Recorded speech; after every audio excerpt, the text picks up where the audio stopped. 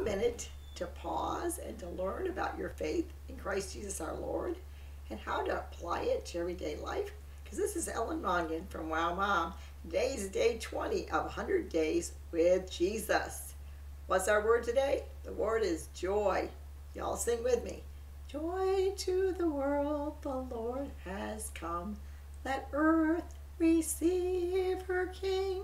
Have you received Jesus Christ into your heart this day? You have to receive every day. You receive him once and once and for all, but it's best to receive him every day. You open your heart wide and you say, Come in, Lord Jesus. I want you to, to GPS my day. God's power working through his spirit. I don't want to lead it myself or with my own my own um, driver. I want you to drive me and guide me and lead me to where I need to go. The word today is joy. It's 100 days with Jesus. And as you know, joy is a fruit. You have to exercise it like muscles. If you were to work out every day, you'd strengthen those muscles. If you put virtue on every day, accessorize with virtue, you'll strengthen the virtue in your soul. A virtuous woman or virtuous man is hard to find these days. They use the word character, they try to interchange it, but we know that virtue is what Christ is trying to instill with us, the fruits of the Spirit. So this day, let's take a look at joy. When God, joy, when Jesus came into this world, he brought great joy, hope, and he brought with him love.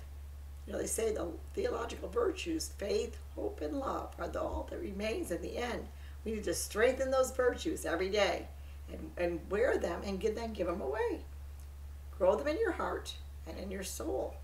Learn to know Jesus and to love him and to serve him and then give that love away, that joy away, that peace away, and see who you can bring joy to their soul. Did you ever meet someone that was full of joy and it just changed your whole day? It changed. You go, you may have a bad day and your frown is on your face and you say, Woo, that person just cheered me up. That's the joy of the Lord. I said, The joy of the Lord is your strength. There was one day when I was I was um, kind of having a hard day. I had a lot of children, a lot of children. And I was probably nursing one and, and probably holding the hand of another, not as I was walking. And I, I remember meeting this lady, and it was at the post office. And she gave me a little card, and she said her name, and she said she was going to mail me something. What she mailed me was a thankfulness journal. It brought joy to my soul. It came in the mail, and I, I was never forgot that. It said if you put down 10 things you're thankful for each day, you could bring joy to your soul. And so it was the unexpected blessing that came that day from a stranger that changed my frown upside down and put a smile on my face. I bet you could do that for someone today if you really, really try. You could find someone that's walking around with a, a sad grouch face. I like to do it at a, a fast food place.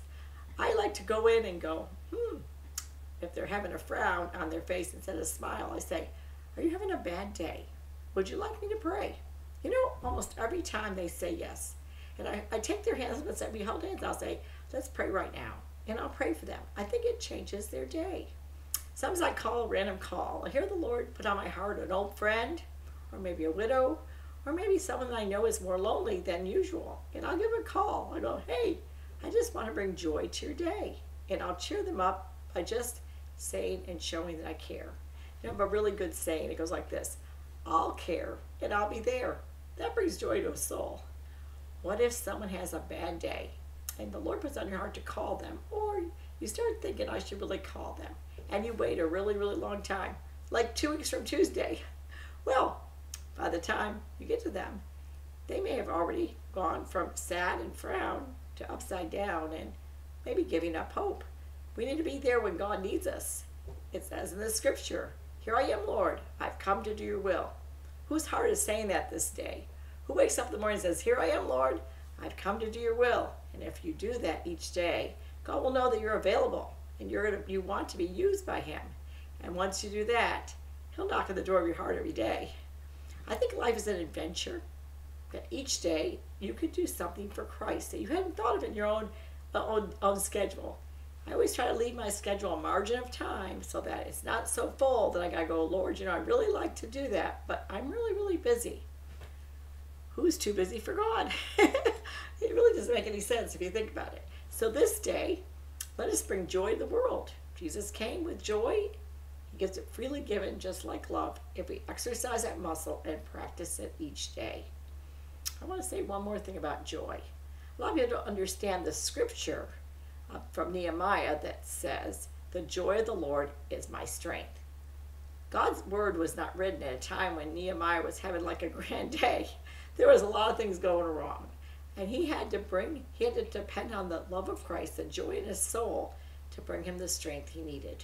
You know, joy is a great fruit.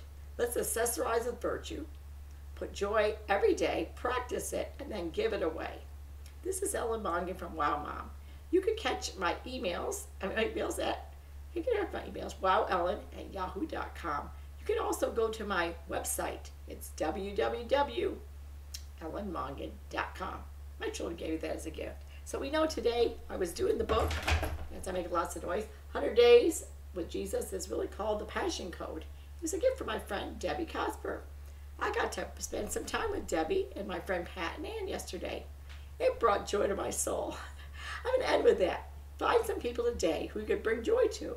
And if you're having a, having a bad day and you want your frown to turn upside down to a big smile, then find some people that you could call, your network of caring people that you could call when you're having a bad day.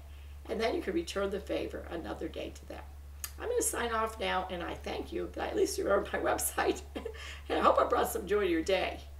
I'm joyful today myself. Be blessed, and this is Ellen Mongan from Wow Mom signing off. Amen.